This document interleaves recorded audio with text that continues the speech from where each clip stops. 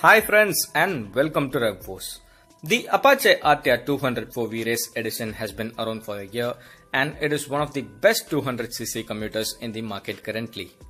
However, the Yamaha MT-15 even though being a 150cc machine rivals the 200cc commuters with its fantastic power and performance.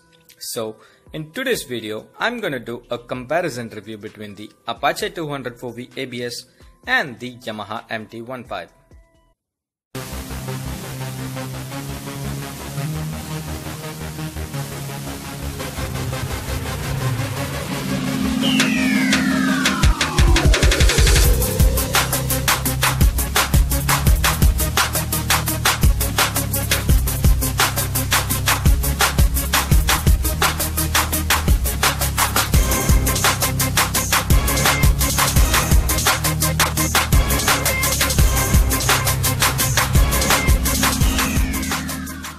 The Apache 200 4V looks attractive and the fit finish of the motorcycle is also good.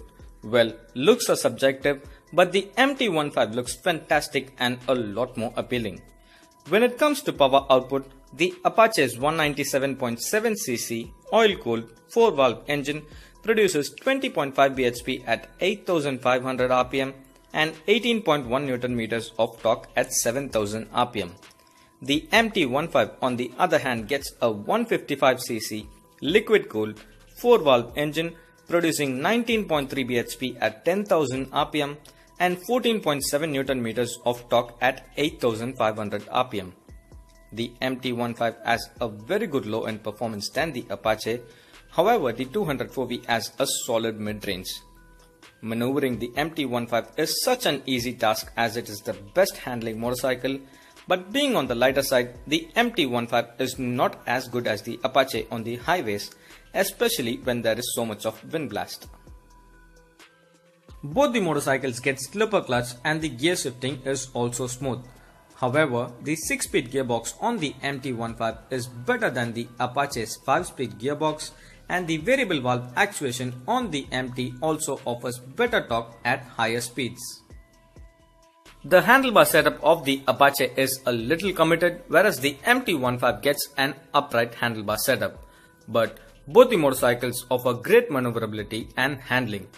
The Apache gets a bigger fuel tank with a capacity of 12 liters when compared to the MT's 10 liter fuel tank.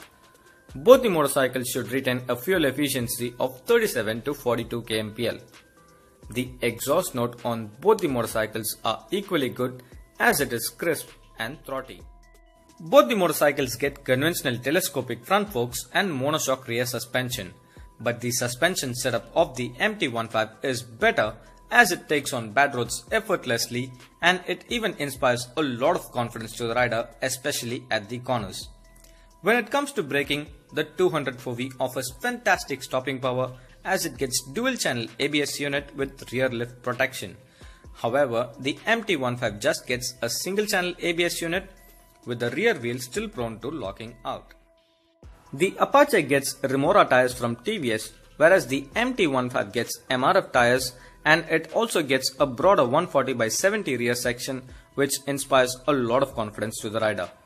When it comes to ride comfort, the split seat setup of the Apache is much better as it is broad enough and offers comfortable riding experience to the rider and the pillion when compared to the MT-15 single piece seat which doesn't offer comfortable riding experience especially to the pillion rider. But the pillion grab rails on both the motorcycles are very well placed and it is easy to hold on to. The all-digital instrument cluster on both the motorcycles offer a lot of information. The MT-15 gets a negative LCD unit which has a gear position indicator, two trip meters, odometer, ABS indicator, gear shifting indicator and the fuel gauge. But the 200 4V's LCD unit is better as it is easily readable and it also gets a top speed recorder, lap timer and a lot more. The bifunctional LED headlamp unit on the MT-15 is one of the best features of the motorcycle as it offers good amount of reach and visibility. But the Apache only gets LED DRLs with halogen headlamp unit which doesn't offer good amount of reach.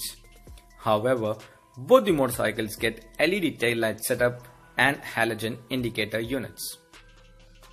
The Apache 200 4V is one of the best motorcycles in its segment as it offers very good low-end performance combined with solid mid-range and decent top-end performance. It also gets dual-channel ABS which offers fantastic stopping power and it inspires a lot of confidence to the rider. But the MT-15 is such a fantastic motorcycle which offers great maneuverability and handling especially when riding at traffic conditions. The LED headlamp setup, the aggressive looks and the design makes the MT-15 the most appealing motorcycle in its segment. There is not even a single motorcycle in the 150cc commuter segment which offers such a great performance like the MT-15.